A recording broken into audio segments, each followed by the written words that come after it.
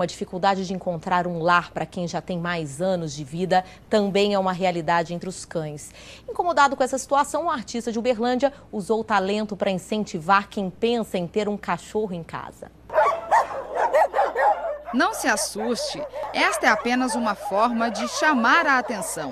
Parece braveza, mas na verdade eles querem mesmo é aquecer os corações de uma nova família.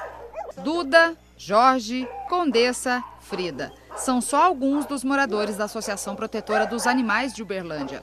Na cidade já são cerca de 30 mil deles abandonados nas ruas.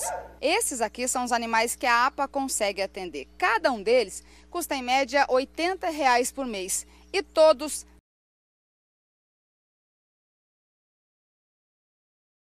é a catuaba. Ela nasceu aqui na APA há cerca de dois anos, é super dócil e até agora não teve a chance de encontrar uma família.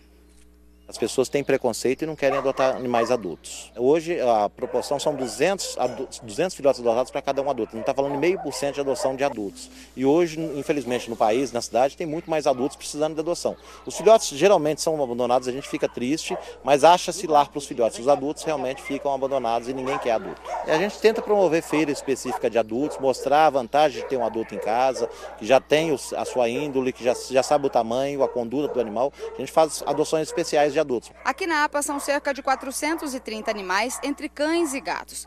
Quando a gente vem para cá e se aproxima deles, a gente percebe o quê? Olhar de carência, como eles querem atenção. Olha só, eles disputam a nossa atenção. Só que nem todo mundo consegue vir para cá para observar isso. Aí um artista de Uberlândia resolveu levar esses olhares tristes, pedindo um carinho, pedindo um amor, para outros pontos da cidade e tentar com que esses cães consigam um lar. Com spray nas mãos, talento e criatividade, muros viraram murais. O resultado? Como não reparar neste olhar?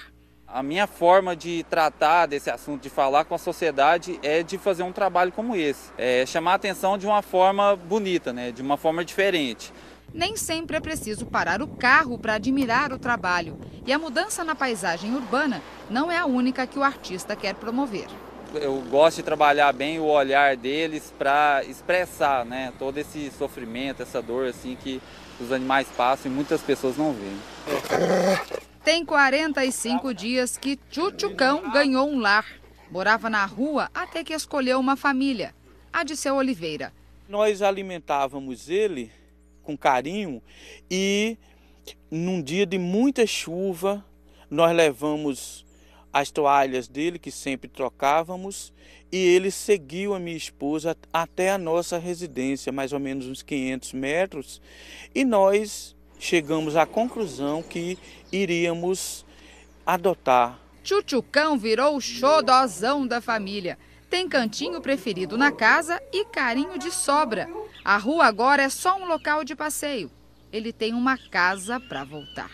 Eu tinha 85 quilos e observe, em 45 dias andando com, com ele, eu perdi 6 quilos. Então. Ajudou a... na saúde, no coração? Ajudou em tudo, inclusive na minha pressão arterial, não é? Isso aqui é o aparelho de exercício de todas as pessoas que vão adotar a partir de hoje um tchutchucão. Pode adotar, é a coisa mais linda do mundo, é adotar um cão que está na rua. Cuida dele, vacina, ver, vermifuga, nossa, é emocionante. O coração bate mais forte. Bate, bate forte.